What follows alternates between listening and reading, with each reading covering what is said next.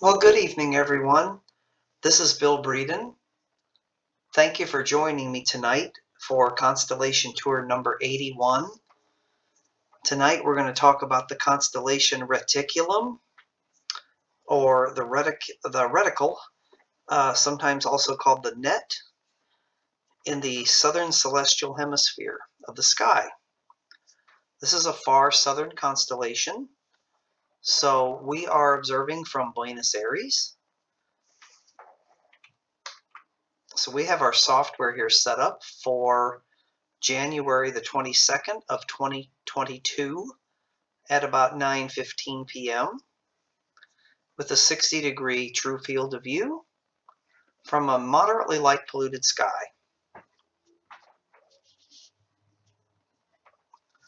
Reticulum isn't um, a very well-known constellation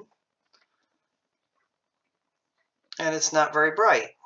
So I'm going to do my best here to try to find it with you. The only fame I think it ever it ever has is um, I think it was briefly mentioned in the 1979 science fiction movie Alien. I do believe that may have been the uh, the star that the uh, or the planet that they were headed to uh, may have been in orbit around a star in the constellation Reticulum, if I remember correctly. But anyway, um, let's see if we can find Reticulum in the night sky. Uh, we're in Buenos Aires um, in January, so it would be a southern hemisphere summertime. And this constellation is um, pretty close to the south celestial pole so it's visible most of the year. However, it is highest in the sky between December and March. So we're looking south. And let's see if we can find reticulum. I would start by locating the bright star Canopus,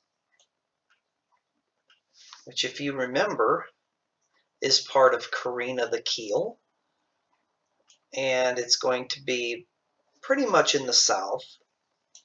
So you're going to look for a bright star in that direction. So here's Canopus. And we're also going to look for another bright star to Canopus's right, and that would be Achernar, or Alpha Eridani. Now, Reticulum occupies a small area of the sky between these two stars. And if you remember, uh, Pictor is here. See stars right here, just to the right of Canopus. And Volans is in this area too. I believe it's here. It's this, I think it's right here. So Reticulum is also in this area of sky between these two stars. So the best way to find it would be to look for this little tight cluster of stars right here. And this is your guidepost to reticulum. And here's Alpha Reticuli right here. It's a third magnitude star. And here's Gamma Reticuli. And here's Delta Reticuli. And Iota Reticuli. And there's Beta Reticuli. So this this area here with this little grouping of stars is probably the easiest way to find reticulum. You can also look for the Large Magellanic Cloud, and that can be another signpost to the area of sky between Canopus and Achernar. So let's show our constellation lines. And you'll see here's the star Canopus, which is part of Carina. It's Alpha Carina.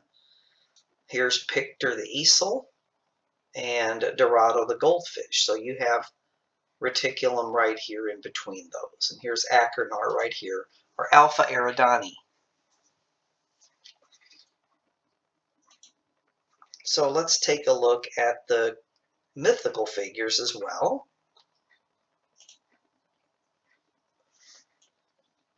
And the southern sky is filled with objects. Um, more than animals, although there's some animals. So here's here's Carina, the keel of the great ship Argo Navis. And here's Canopus, the second brightest star in the sky, Alpha Carina. Here's Pictor the easel, Dorado the goldfish, and way over here you have Achernar, which is Alpha Eridani, which you can see it's at the end of the river. Here's the river here. And here you have reticulum, or the reticule.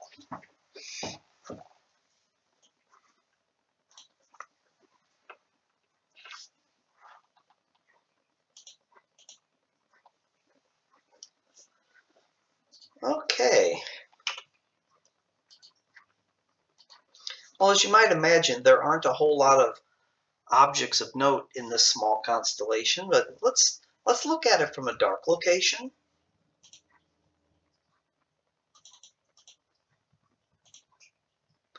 And here that little grouping of stars actually shows up a little better.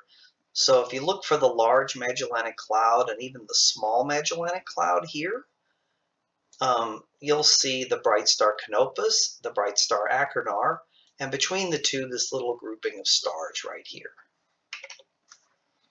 And showing the boundaries here, this makes up the constellation Reticulum. I do have a double star on my list, and that's Zeta Reticuli.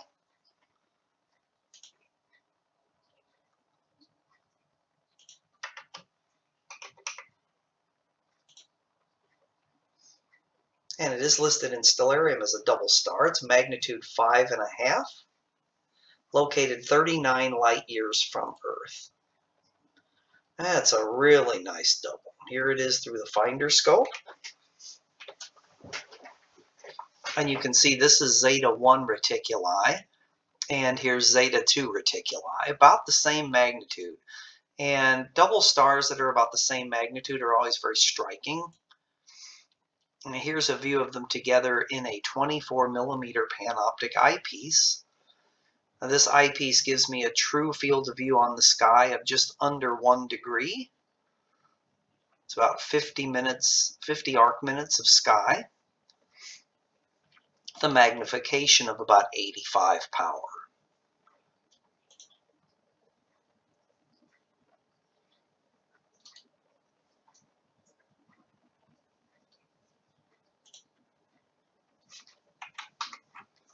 Okay, let's return to a naked eye view.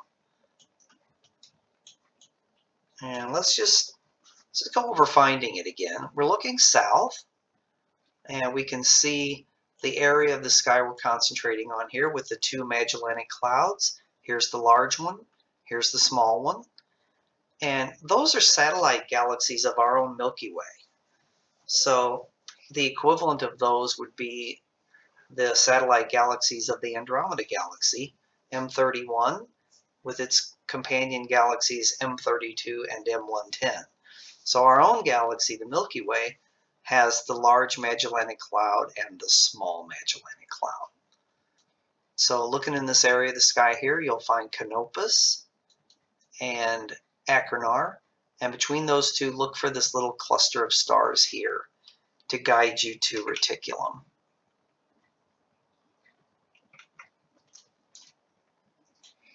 Okay, there are no notable deep sky objects in Reticulum. No Messier objects either. So let's use Stellarium as a star chart. So let's turn on our boundaries. Zoom in a bit. And go over here to Sky and Viewing Options. Let's see, move it off to the side a little bit. Click on Deep Sky Objects. Turn on Labels and that's actually a little too busy, so let's turn this down just a tad, shall we? And you'll see Stellarium gives you two sliders. The the bottom one are the are the icons. So you'll see these little symbols show up with no labels. And then the top slider are the labels. And doesn't look like there's many labels showing up here. So I like to slide them together. I think it just makes it more useful to have the icon and a label together. And start somewhere around the middle. You don't want to overwhelm yourself with too much. So here we have a deep sky object populated, NGC 1559. And I'm just exploring. I didn't have this prepared. So this is kind of like what I would do if I was just out under the sky, just just cruising through a constellation. Tonight would be Reticulum. This is a 10th magnitude galaxy located 57 million light years from Earth.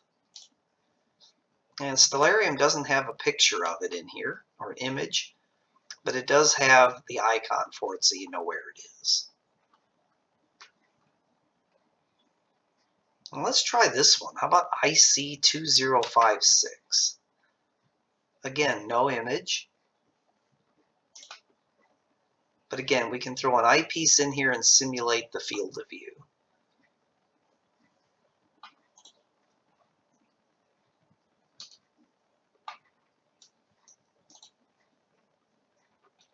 Okay, let's return Stellarium to planetarium software. So let's turn off all labels and markers. And let's return to a 60 degree field of view and turn off our constellation names. And we are back to a planetarium view.